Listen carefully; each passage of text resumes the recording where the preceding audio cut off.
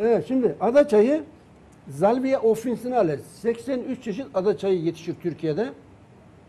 Bunlardan şifalı ada çayının içermiş olduğu tümol etken madde beyindeki hormonları etkileyerek aşırı terlemeyi önler. Nane aynı şekilde terlemeyi önler. Altın başak terlemeyi önler. At kuyruğu otu terlemeyi önler. Bunlar aşırı terlemeye karşı çayını yapıyorsunuz karıştırarak at kuyruğu otu ada çayı ama hakiki ada çayı olacak. Marketlerde satılan loplu ada çayı bir faydası olmaz.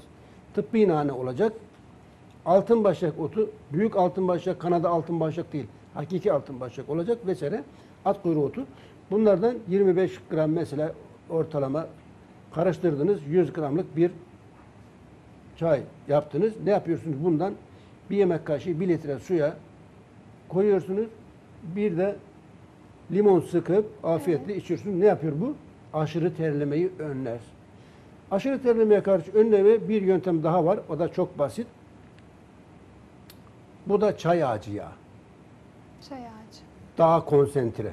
Şey pardon çay ağacı yağı diyorum. Ada çayı ya. Ada çayı. Burada bir çay ağacı var onunla karıştım. Ada çayı ama hangi ada çayı? Zalvia officinales şifalı çayı.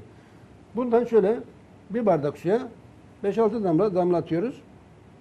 Dam, evet, damlatıyoruz. Ve bu ada çayı yağı içerikli sudan içiyoruz. Hı, güzel bir tadı var. Tadı fena değil. Ne yapıyoruz? Bu hemen terlemeyi önler. Ben çocuklarla yıllar önce ailece Antalya'ya gittik. Tabii Almanya'da çocuklar doğdular, büyüdüler. Antalya gibi sıcak bir şehre gelince ne oldu? Aa ne kadar çok sıcak burası. Dışarı çıkıyorlar. Çıktıkları bir de otele döner. Niye? Duş alacağım, çok terledim. Dışarı çıkamıyoruz. O diyor ben geri dönmek istiyorum. Bu diyor ben geri dönmek istiyorum. Sokakta gezemiyoruz. Dur bir dakika dedim. Ada çayı hazırlıklı geldim. Ada çayı yağı hemen damlatıyorum bir bardak suya. için bakayım. İçiyorlar birer yudum. Hadi bakayım şimdi sokağa çıkıyoruz. İsteyen istediği yere gitsin gelsin olsun. Problem yok. Ne yapıyor? Aşırı terlemeyi önlüyor.